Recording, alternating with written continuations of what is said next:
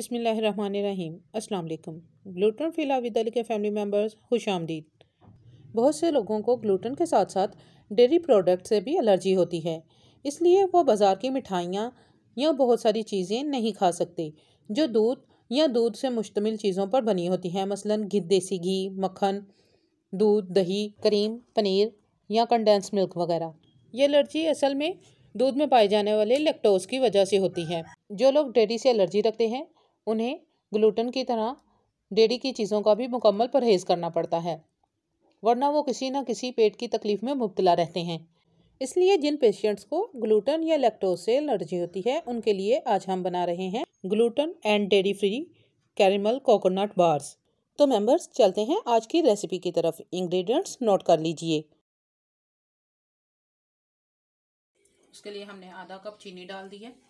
और इसे हम हल्की आँच पर मेल्ट कर लेंगे।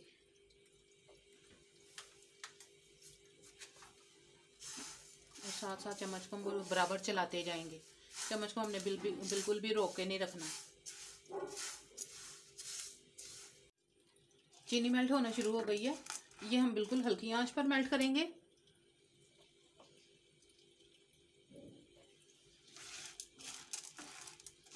चीनी को हमने ब्राउन नहीं करना, ना इसकी बिल्कुल कैरमल बनानी है, इसे हम सिर्फ़ हल्की आँच पर मेल्ट करेंगे। ये बार्स बहुत डिलीशियस होती हैं, बच्चे इन्हें बहुत ज़्यादा पसंद करते हैं, क्योंकि वो बाज़ार की कैंडीज़ वगैरह नहीं खा सकते, और ग्लूटन फ्री कैंडीज़ और बार मार्केट से ख़रीदना एक मुश्किल सी बात नज़र आती है।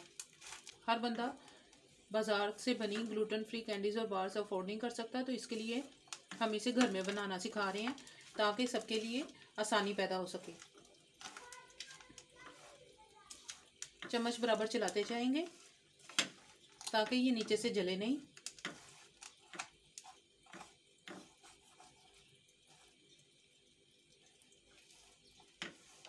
अगर बराबर चम्मच चलाते जाएँगे तो ये नीचे से ब्राउन नहीं होगा, एकदम से जलेगा नहीं और मेल्ट हो जाएगा। इसके साथ ही हम एक तरफ़ ग्लूकोज सिरप इस्तेमाल करेंगे। ये ग्लूकोज सिरप हमने कौन सिरप लिया है जो बेकिंग आइटम्स के तैयारी में भी इस्तेमाल होता है। तो इसे हमने पहले से रेडी करके रखा हुआ डालने के लिए। याद रहे कि वीट ग्लूकोज नहीं लेना हम इसके लिए जस्ट कॉर्न ग्लूकोज लेंगे कॉर्न सिरप देखें जी ये हमारी बिल्कुल मेल्ट हो रही है। जो ही हमारी चीनी मेल्ट हो गई, हमने साथ ही इसमें कॉर्न सिरप शामिल कर देना है और चम्मच बराबर चलाते जाएँगे और आँच फौरी बंद कर देंगे। हमने चूल्हे से इसे ऊपर उठा लिया है।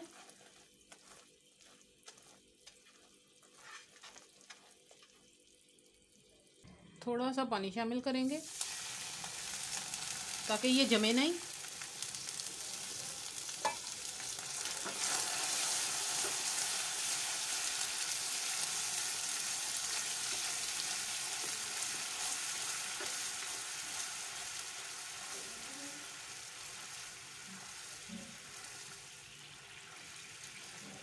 अब दोबारा से इसे हल्की आँच पर थोड़ा सा पकाएँगे और सिरप जैसे ही गाढ़ा होना शुरू होगा तो हम साथ ही इसमें कोकोनट शामिल कर देंगे।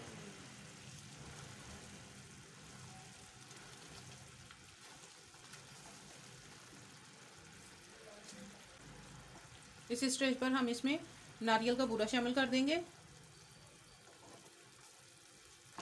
ये हमने एक कप लिया है। और इसे अच्छी तरह से मिक्स कर लेंगे।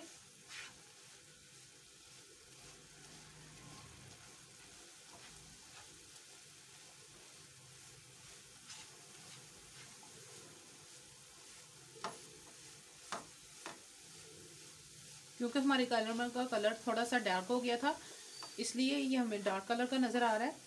आपने कोशिश करनी है कि कैरमल का कलर डार्क ना हो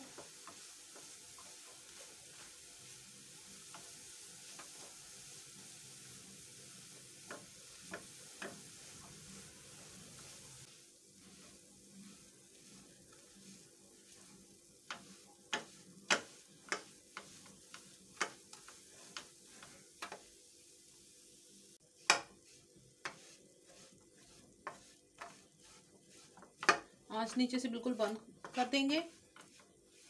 और आँच बंद करके हम इसे अच्छी तरह से मिक्स कर लेंगे।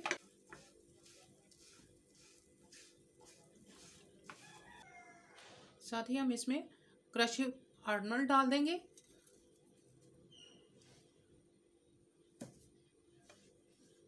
और इन्हें अच्छी तरह से मिक्स कर लेंगे।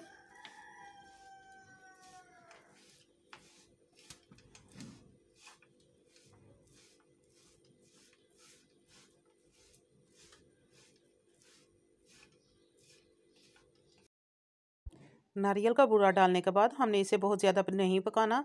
सिर्फ़ इतना पकाएँगे कि इसका मॉइस्चर जो एक्स्ट्रा है वो ख़त्म हो जाए और ये आपस में जुड़ने लगे। और जो भी नट्स आप अपनी पसंद के बादाम या इसके अलावा डालना चाहें, वो डाल सकते हैं। और जब ये इस तरह से आपस में जुड़ने लगे तो आँच हम बिल्कुल बंद कर देंगे और इसे उतार कर किसी भी अपनी मर्ज़ी के मोल्ड में इसे सेट कर लेंगे। इसके लिए हमने एक चौकोर मोल्ड लिया है। ये हमने मोल्ड लिया है। इसमें हमने बटर पेपर लगा लिए। अच्छी तरह से इसे चारों तरफ़ से ग्रीस कर लेंगे।